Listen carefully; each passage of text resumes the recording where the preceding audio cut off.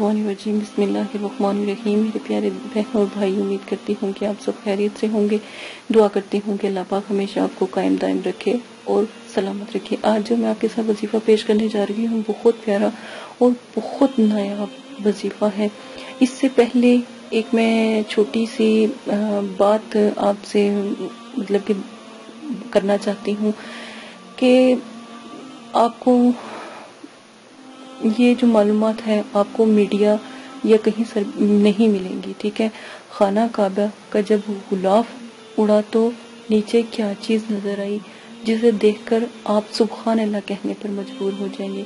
जब खाना काबा का गुलाब उड़ा था तो उसके अंदर से एक और दरवाज़ा जो था नमोदार हुआ। जब अब की दफ़ा हाजी गए थे तो जब गुलाफ काबा मतलब कि अल्लाह की रहमत से उड़ा तो लोग जितने भी वहाँ पर मौजूद थे वहाँ पर देखा गया कि एक और दरवाज़ा वहाँ पर मौजूद था जिसे लोगों ने आ, मतलब कि कैच किया अपने जो मोबाइल हैं इनमें भी कैच किया। लेकिन मेरे नज़दीक एक मोजा था या मैंने सोचा कि आप लोगों को बताना चाहिए इस बारे में। तो लेकिन मैं एक बात सोचती हूँ कि ऐसी चीज़ों को इतना मतलब कि लाइव नहीं दिखाना चाहिए, या इस चीज़ के हमें नहीं पता कि इस बारे में कि अल्लाह पाक को पसंद आए या ना आए, क्योंकि ये पोशीदा था अल्लाह की रहमत से छुपा हुआ था। लेकिन आप लोगों को शायद कहीं पर ये वीडियो देखी होगी तो हमें, मुझे भी ख्वाहिश हुई कि आप तक ये पैगाम पहुँचाने की। इसी के साथ आज एक वजीफ़ा आपके साथ शेयर करती जाऊँ। एक बहन है, उन्होंने गुजारिश की है कि मैंने ऐसे मुझे लगा कि जैसे ख्वाब में मैं मदीना मनवरा में तशरीफ़ ले गई और वहाँ पर देख रही हूँ कि मैं वहाँ पर जो है, उम्र कर रही हूँ। मदीने की गलियों में या मक्का की गलियों में मैं क्याम पजीर हूँ और वहाँ पर हम जो है, उम्र कर रहे हैं। तो ये बहुत खूबसूरत बात है, बहुत अच्छी बात है। तो इन मेरी दुआ है कि अल्लाह पाक आने वाले दिनों में भी आपके ऊपर रहमत और बरकत अता फरमाए और आप लोग वाकई ही हज पर जाएँ, उम्र पर जाएँ, ये मेरी दिली दुआ है और तमन्ना है। अगर आप हज पर या फिर आप उम्र पर जाना चाहते हैं, अगर आप इस चीज़ की ख्वाहिश करते हैं तो फिर एक तस्वीर मैं आपको बताऊँगी। अगर आप वो करते हैं तो अल्हम्दुलिल्लाह तो इन जो भी आपकी ख्वाहिश होगी, वो पूरी हो जाएगी। आपने पढ़ना क्या है? अल मोमिनो अल मोमिनो अल मोमिनो ये आपने 600 मरतबा पढ़ना है।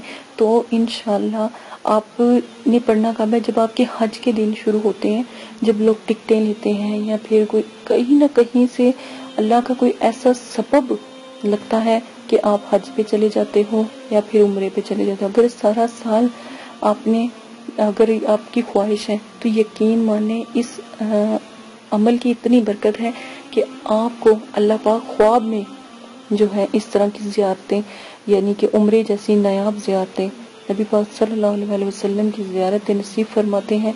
तो आप ये 600 मरतबा पढ़ते पढ़ते सो जाएँ या 600 मरतबा पढ़ें तो इन आपको ऐसा फैज़ हासिल हो सकता है। ये बहुत प्यारा सा एक अमल था और वजीफ़े के तौर पर भी लिया गया था लोगों तक फैलाएँ ताकि लोगों को पता लगे। लोग अगर कोई ख्वाहिश करता है हज पर जाने की या उम्र पर या खाना काबा के मतलब कि तवाफ़ करने की, या फिर खाना काबा के गुलाब देखने की, या फिर खाना काबा में जाने की, या फिर वहाँ की गलियों में, मदीना मनवरा की गलियों में और मस्जिद नबी को देखने की तो आप ये अमल करें। अल्हम्दुलिल्लाह के हुक्म से ज़रूर जाएँगे। इसी के साथ इजाज़त देती हूँ आज की सबसे प्यारी बात के साथ। जाहद। जाहत इसका नाम है कि जो चीज़ मौजूद हो।